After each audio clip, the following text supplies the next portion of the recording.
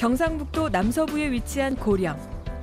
예부터 지대가 높은 신령스러운 땅이라는 뜻을 갖고 있는데요.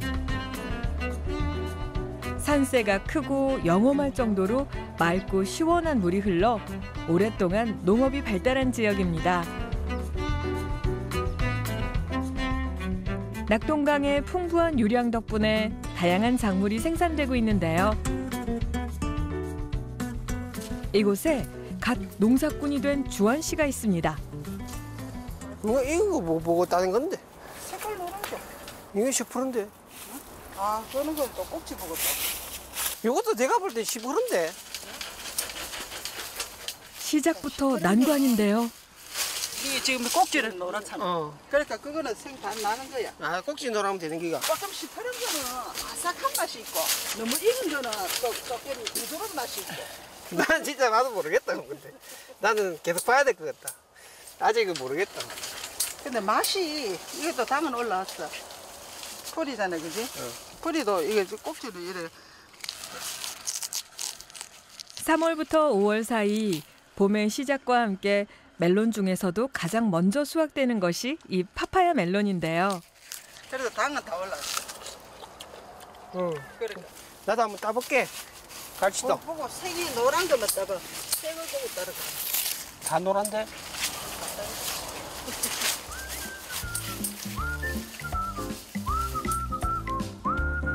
고령 지역의 특산품인 파파야 멜론은 속살은 참외와 같이 하얗고 식감은 아삭하면서 멜론 특유의 향과 달콤함까지 갖춘 매력 넘치는 디저트 과일입니다.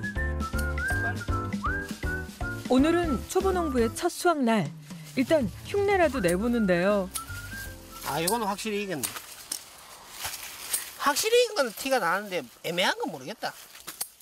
어린 시절부터 농장 일을 돕긴 했지만 막상 농부가 되고 보니 모든 게 낯설고 새로운데요. 주원 씨가 우물쭈물 하는 사이 어느새 어머니 옆으론 멜론이 수북이 쌓였습니다. 멜론 농사만 20년 이상인 어머니의 내공. 한번 내랑 성동 차이가 너무 많이 난다. 괜찮아. 빨리빨리 해야, 야, 야. 돈도, 돈도 많이 빨리빨리 벌고. 그래가 빨리 농사 지기가 이제 안정을 찾아야 되지. 엄마도 처음엔 느렸는데. 나는 엄마도 못했을 것 같은데. 눈을 딱 보면, 아, 관찰해가, 눈으로 관찰해가, 저 사람이 어떻게 하는 거딱 관찰해가, 그래가 시작하지. 기다려봐라. 내가 좀 더 빨리 할 수 있다. 좀 더 빨리 한다. 한 1년만 지나면 하지 않겠나 싶다. 하루라도 빨리 농사를 배워 부모님께 힘이 되고 싶은 주원 씨. 초보 농부의 마음은 저만치 앞서갑니다. 다른 하우스 일을 마무리하신 아버지가 도우러 오셨는데요. 내가 다 땄다. 어? 내가 다 땄다. 다 땄고. 응. 물다 폈나? 어. 어제 폈는데. 이거 생각보다 되다. 얘기를 못해. 농사를 가는 게 아무리 힘들어도 수확할 때는 피곤함이 다 있는다. 이 돈이라고 생각하니까. 내, 내려오기 전까지는 나 엄마 아빠 이렇게 일하는지 몰랐다. 이렇게 많이 할 줄. 그때는 세복이라고 하네. 어? 세복이. 뭐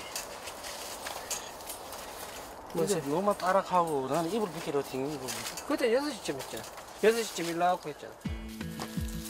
작년까지도 몰랐던 부모님의 고된 일상을 알게 된 주원 씨. 아버지도 20대 직장 생활을 그만두시고 할아버지 뒤를 이어 농부가 되셨는데요.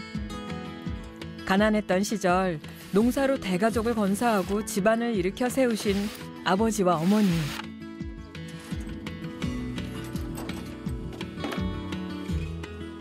부모님이 평생 땀으로 일군 농장은 마을에서 가장 큰 규모로 성장해 지역의 멜론 대표 농가가 되었습니다. 그럼 스, 작업장으로 바로 간대. 아, 수확한 파파야 멜론을 싣고 선별장으로 향하는데요. 농장에서 10분 거리에 있는 선별장은 아버지가 대표로 계시는 영농조합 법인의 조합원들이 함께 사용하고 있습니다.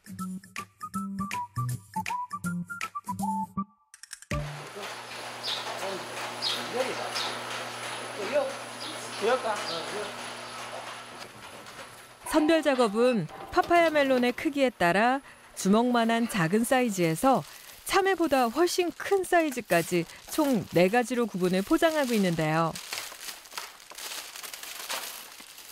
주한 씨네 농장은 주문량에 맞춰 수확을 하고 당일 수확, 당일 배송을 원칙으로 하고 있습니다. 백화점 납품 물량과 개인 직거래 택배 물량으로 나눠 상품을 정리하던 주한 씨. 저 당도 한번 재보자, 저거. 메론, 메론 한개 영재집에서 까왔거든. 영재 치킨 이거 한번 재보자. 한 개, 아무거나. 오랫동안 멜론 농사를 지으신 부모님은 척 보기만 해도 당도가 예상되지만 주원 씨는 본인이 파는 파파야 멜론의 당도가 궁금한데요. 이거 한번 먹어보고 맞춰봐라. 안 맞춰볼란다. 올해 파파야 멜론의 상태는 역대 최고. 멜론의 크기도 크고 당도도 높아서 판매 수입에 거는 기대가 크다는데요. 17, 17에서 18. 17, 17점 몇? 저기 파란색, 흰색 것까지.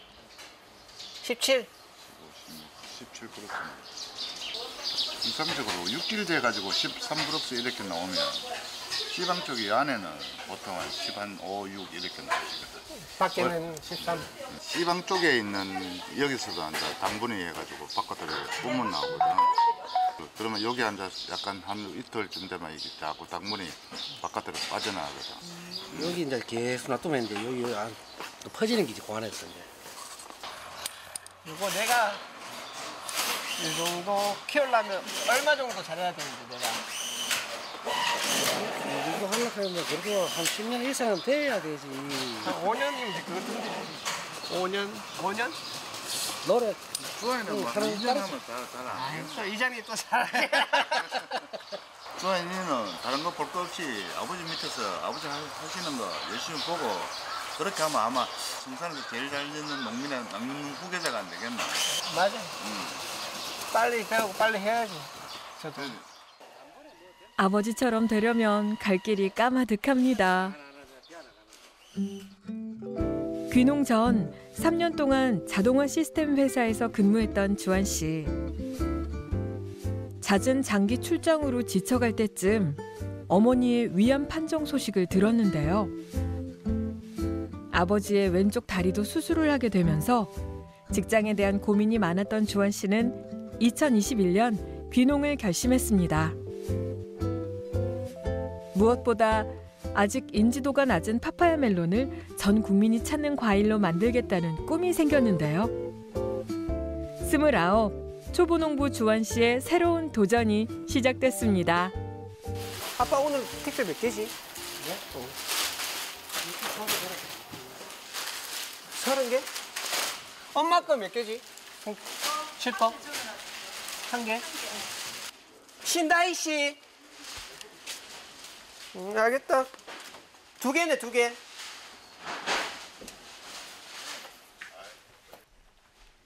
귀농 후 농장의 주문과 택배 업무를 전담하고 있는 주한 씨. 가족들이 각자 받은 주문을 모아 한꺼번에 정리하는데요. 주아는 오늘 뭐 주문 좀 많이 받았나? 50박스? 어이구. 맞다. 아빠 30박스, 네한 20박스. 아이고 스무 박스 많이 받았다. 이제 앞으로 더 많이 들어 들어오겠지 이제 또 주문량이 자꾸 불어날 거든. 이제 홍보 많이 때려. 주아이는 어떻게 뭐 홍보를 하노?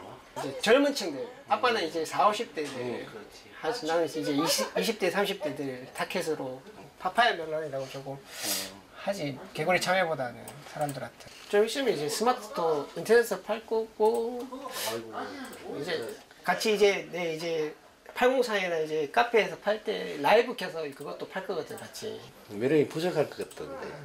많이 따야지 멜론 아직 아빠 물건 따라가려면 멀었지 아빠 주문량 따라가려면 난 멀었지 아이고. 아이고 수강 마치 또그또 바람 느낀다. 맞다. 주한 씨의 주문량이 많다는 아버지의 은근한 칭찬에 더 잘하고 싶은 마음이 솟아나는 주한 씨. 얼마 후 택배 트럭이 도착했습니다. 이거 먼저 드립니다, 3kg. 농부의 아들이 아니라 직접 농부가 되어 겪는 첫 판매. 일은 좀 할만하세요. 그래요. 아, 아직은 할만합니다. 좀 더 해봐야지.